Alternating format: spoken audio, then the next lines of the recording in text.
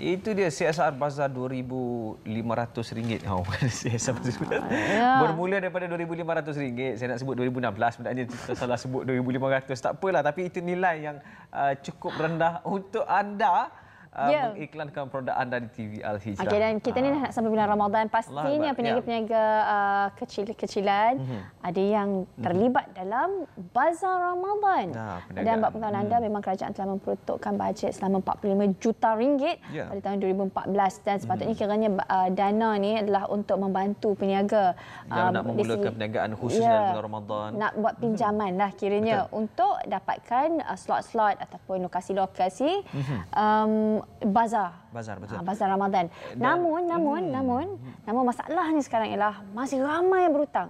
Sampaikan bajet tersebut menjadi sangatlah comel dan kecil dan tak ramai orang yang boleh mengambil dana daripada situ lagi. Jadi Itu insyaAllah tinggal 9 juta saja ha, kabarnya. tinggal daripada 45 juta. Ya, betul. Dan yang menariknya adalah um, sebenarnya kalau kita lihat uh, hanya um, 4,000 saja uh, permohonan yang diluluskan untuk kali ini yang mana Ya. Sebab bajet tak disebabkan banyak. oleh 10,000 yang sebelum ini tidak membayar. Ya. Jadi ini kita akan uh, bincangkan bersama dengan uh, tetamu kita itu Cik Muhammad Rizwan Abdullah, Presiden Pertubuhan Ikatan Usahawan Kecil dan Sederhana Malaysia ataupun disebut sebagai Ikhlas mengenai dengan isu ini. Assalamualaikum Cik Rizwan, apa khabar? Sihat ya? Saya Alhamdulillah. Okay, Encik Ruzwan, to straight to the point lah kan. Ya, Saya pasti ramai kat luar sana tu penonton-penonton TV Ajra pun bertanya-tanya, especially yang terlibat dalam industri kecil-kecilan yang nak buka bazar Ramadan. Mm-hmm. Uh, kenapalah duit tu tak dibayar-bayar? Tak ada siapa-siapa tuntut ke? Silakan, Tuan. okey yang pertama kita perlu ucap terima kasih kepada kerajaan yang sedia ada lah. Ter- Terutama kepada Yang Amat Berhormat PM. Di mana hari ini usahawan usahawan kecil dalam negara Malaysia ni sepatut bersyukur sebab kita mewah dengan segala peruntukan daripada kerajaan. Berbagai dana dised- disediakan oleh kerajaan pusat. Ya. Apa yang ikhlas lihat uh, apabila 2014 uh, di mana empat- 45 juta diperuntukkan untuk skim pinjaman bazar Ramadan dan uh, kementerian yang bertanggungjawab adalah Kementerian Cabinet KK. Suatu tu menteri adalah Datuk Seri Hassan Malik di mana apa apa yang ikhlas lihat dari segi pelaksanaan tu ada masalah sikit. Di mana 15 tahun lepas uh di mana Bank Simpanan Nasional uh, di mana wujudkan skim uh, apa mikro pinjaman mikro uh, dan uh, ada persatuan. Persatuan-persatuan ni ditanggungjawabkan untuk uh, melaksanakan Menguruskan. pinjaman tersebut. Uh, akhirnya 70% uh, peminjam ni tak bayar balik. Kenapa hari ini kementerian ni ulang balik memberi peluang kepada persatuan yang sama untuk melaksanakan skim Kewangan pinjaman ni. Akhirnya benda ni gagal. Bukan salah ser- 100% peminjam tu. Dari segi pelaksanaan tu gagal.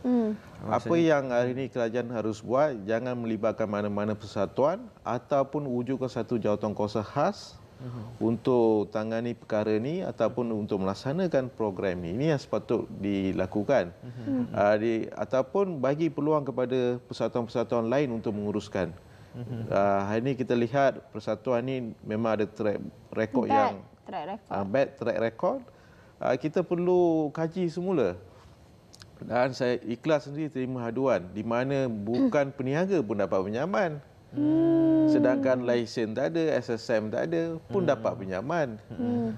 Uh, ini perlu kita ambil tindakan. Kita kita tak nak akhirnya apabila kita ambil tindakan, kerajaan ambil tindakan, akhirnya peminjam tu salahkan balik kerajaan, buruk-burukkan kerajaan. Ini tak nak kita tak nak berlaku. Mhm. Maksudnya dari segi pelaksanaan pada peringkat awal lagi ada Ya. ada kelompongan-kelompongan yang Ya. perlu uh, diatasi Ya. khususnya pada pada mereka yang mungkin berpeluang sepatutnya peluang dapat tapi tidak dapat. Ah, tidak dapat. Ini yang berlaku. Sebab ikhlas sendiri terima berbagai aduan tentang pinjaman tersebut. Apabila persatuan ini dilantik untuk menguruskan uh, uh, melaksanakan pinjaman ni, mereka kenakan cas. Ada fees lagi. Uh, fees kau tim lah. Uh, you kalau nak dapat pinjaman, you kena bayar RM500, you kena bayar RM300. Ini yang berlaku. Ap- Dan apabila perkara ini berlaku, persatuan tersebut mereka tak kaji tentang latar belakang peniaga tu, janji mereka dapat pinjaman. Ini yang berlaku. Okey, uh, dan bila berlakunya um, kes-kes uh, seumpama ini di Ya. mana peminjam-peminjam tidak membayar. Ya. Jadi ia telah sedikit bukan sedikit sebenarnya secara uh, langsung telah mengganggu peluang mereka yang Ya. betul-betul layak Betul. uh, daripada mendapat pinjaman. Jadi dalam konteks begini bagaimana pula? Ya, sepatut. Sialah kad mereka yang sepatutnya Ah, dapat kan? Ya, betul. Sepatut siapa yang meminjam Ya. ni perlulah bayar balik. Ini hmm. nama berpinjam, perlulah bayar balik sekurang-kurangnya. Uh, peniaga-peniaga lain dapat peluang untuk dapat pinjaman tersebut. Hmm. Yang dari situ saya ingin uh, ingatkan di mana bayaran balik itu begitu singkat. Ah, Tiga- dari segi mekanisme Ya. pembayaran balik. Ya. Tiga, tiga, tiga kali bayaran memang peniaga, uh, peniaga kecil ni tak mampu bayar balik. Hmm. Sekurang-kurangnya 12 bulan. Hmm. Ha, bawah 200. Bayaran balik bawah da- bawah 200 insya-Allah mereka akan bayar balik. Hmm. Ha, ini yang kita perlu kaji balik. Okey. Ha, yang mana yang tak ada lesen yang dapat pinjaman perlu ambil tindakan. Ya. Hmm. Di mana ikhlas uh, dalam waktu terdekat ni kita hantar memo kepada SPRM minta siasat perkara ini. Okey. Kalau persatuan tu terlibat kita perlu mengambil tindakan terhadap persatuan tersebut. Hmm. Ini yang perlu kita lakukan. Ya maksudnya, kita, maksudnya ikhlas juga tegas dari sudut pelaksanaan Ya. Dan juga peminjam itu sendiri lah. Ya. Okey, apa pula peranan ikhlas dalam membantu peniaga-peniaga kecil ini mendapatkan dana mereka? Ya.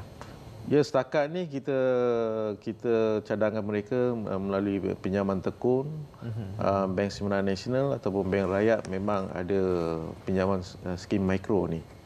Uh, tanpa penjamin dan, dan sebagainya mereka ada peluang untuk dapatkan pinjaman tersebut. Tapi janganlah waktu terdekat baru nak dekat puasa ni. apply kan?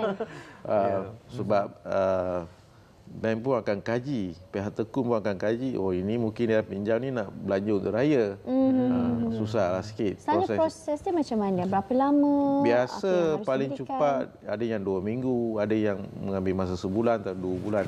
Mm-hmm. Uh, tertakluk kepada dokumen yang yang diperlukan. Cuma macam skim bazar Ramadan memang khusus untuk bazar lah. Ya. Tetapi apa yang di, uh, ditawarkan oleh ikhlas tadi adalah skim yang lebih luas dan lebih besar Ya, lah. lebih besar ya. Macam tekun sehingga 100 ribu boleh dapat pinjaman. Hmm. Dan dia punya uh, Kelayakan. term-term ah. uh, Dia- untuk membayar balik? Uh, ada yang tiga tahun, lima tahun, hmm. Begitulah. Lim, tiga hingga lima tahun, ada yang dua tahun. Uh, memang mudah lah. Interest yang dikenakan pula bagaimana? Interest rendah. Kalau macam contoh kita dapat pinjaman tekun ataupun di bawah marah pun ada pinjaman. Memang bayaran balik itu memang uh, rendah lah. Boleh bayar balik. Tetap perlu kita pinjam berapa banyak jumlah pinjaman tu. So dalam dalam hal ini peranan ikhlas adalah uh, menjadi memudah cara untuk proses tersebut Ya, ya, pemudah cara dan ikhlas tak setakat ni memang polisi kita memang ketat. Kita akan study habis uh, peniaga tersebut betul ke mereka meniaga ataupun mereka kemukakan dokumen palsu ke kita akan turun padang kita lihat permis perniagaan mereka sendiri. Hmm. Ha, kalau tak ada memang kita tak akan recommend. Hmm. Ha, kita tak akan recommend.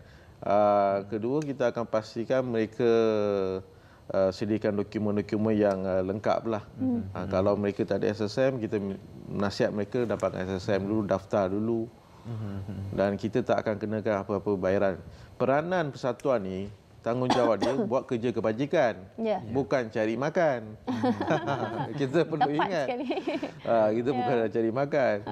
Ha, kita sepatut bantu kerajaan, bantu peniaga. Ini yang kita sepatut buat. Bukan kita uh, mengambil kesempatan kenakan cas. Dalam isu Bazar Ramadan ni, uh, skim uh, mikro Bazar Ramadan ni, pers- persatuan ni memang uh, mereka kenakan cas RM500 pun ada. RM300 pun ada. Ini yang berlaku. Cuba bayangkan 10,000 pinjaman, berapa mereka dah kutip dah. Ya. Mereka kayakan diri mereka. Tapi mereka tak fikir kepentingan eh, kerajaan ataupun kepentingan pe- peniaga. Peniaga. Ini menjejaskan nama baik kerajaan. Kenapa Kementerian KPDKK hari ini utamakan persatuan ini? Per, sepatutnya perlu ambil tindakan. Jadi itulah sepatutnya Ya. yang yang berlaku Ya. kan. Jadi okey sekarang ni kita nak solution jugalah kan. Ya. Solution. Jadi Ya. kalau ada penonton di luar sana yang sedang menonton Ya. dan mereka jatuh dalam kategori yang kita bincangkan, apa pesanan tuan kepada mereka? Yang pertama uh, terutama tentang uh, bazar Ramadan ni yang penganjur biasa ni uh, kenakan bayaran yang tinggi. Ya, mahal. Jual tapak yang tinggi seperti di Alostar. Berapa tu dalam? Melaka ada yang sampai RM13,000, RM15,000. Patutlah makanan pun mahal. Ah. Akhirnya Kementerian KPDKK menekan peniaga kenapa jual mahal. Ya. Pengguna pun akan tekan peniaga kenapa jadi mahal. Walhal Tang, sebenarnya penganjur, pihak penganjur yang letak harga yang tinggi, Terlalu sewa tinggi. yang tinggi, akhirnya segalanya jadi mahal. ya. Saya haraplah uh, janganlah uh, waktu bulan yang mulia ni semata-mata nak kejar keuntungan dia. Ya. Berpada-padalah buatlah kerja kebajikan sikit. Ya. Bulan-bulan puasa buatlah kerja kebajikan sikit. amal, Ya. Ha, jangan asyik nak untung aja. Untung terlalu berlipat ganda. Ah, berlipat kali ganda. Akhirnya pe- peniaga dapat untung sikit dan bayar balik pinjaman dah dah dah payah. Susah. Ini yang berlaku. Patut ini perkara ni perlu dikaji.